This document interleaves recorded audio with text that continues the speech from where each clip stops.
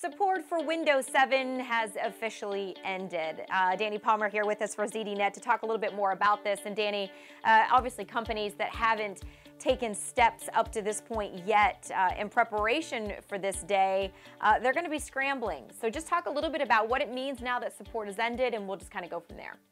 What it basically means is Microsoft will no longer be providing updates or patches for the Windows 7 operating system, which has now been operation in operation since 2009.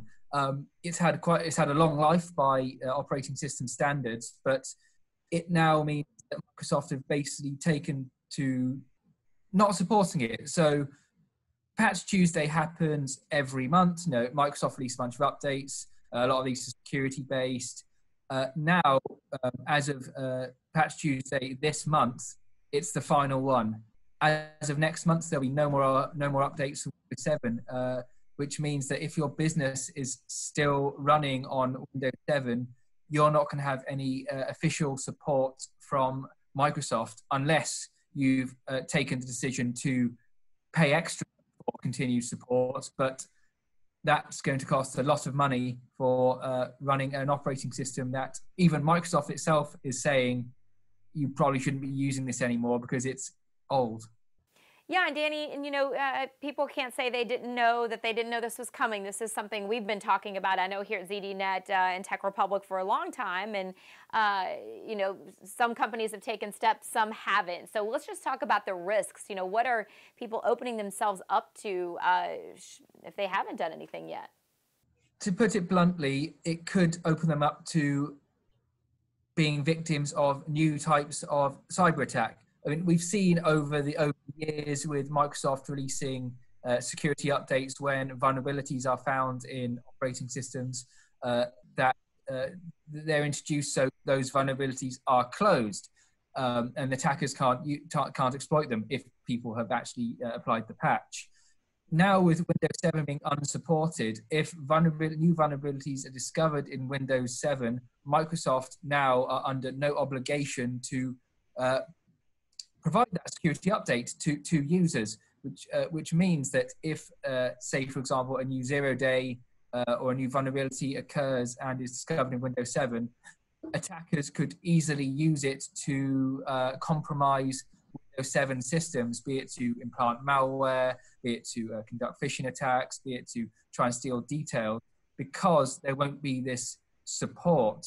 Um, Microsoft and other bodies, including the uh, UK's National uh, Cybersecurity Agency, have urged people who are still running Windows 7 to upgrade to another operating system, that being you know, Windows 10 most likely, uh, as soon as possible, and to replace these unsupported devices because, yeah, it, it, it, it's ultimately leaving them open to uh, some sort of attack.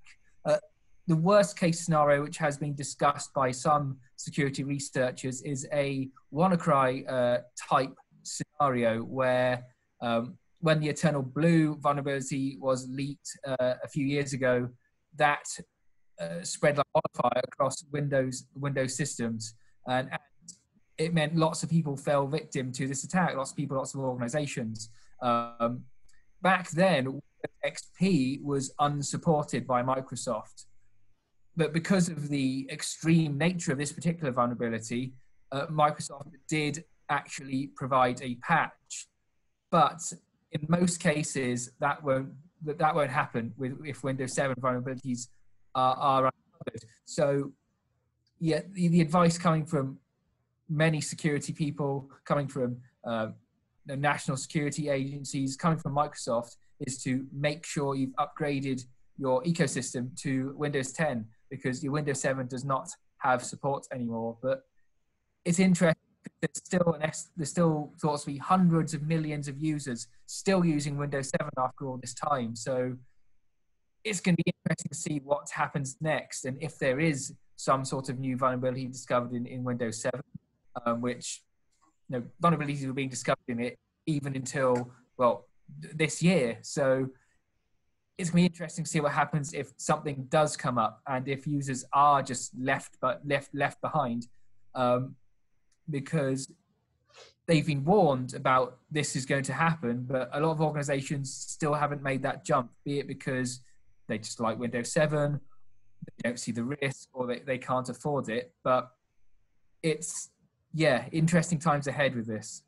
Yeah, certainly, Danny. And I think a lot of people, you know, sometimes we just like to think it's just not going to happen to us or that the risk doesn't apply to us. But unfortunately, uh, it could be catastrophic for some companies if they don't do anything. Uh, so, really great information uh, to pass on here, Danny. We appreciate it as always.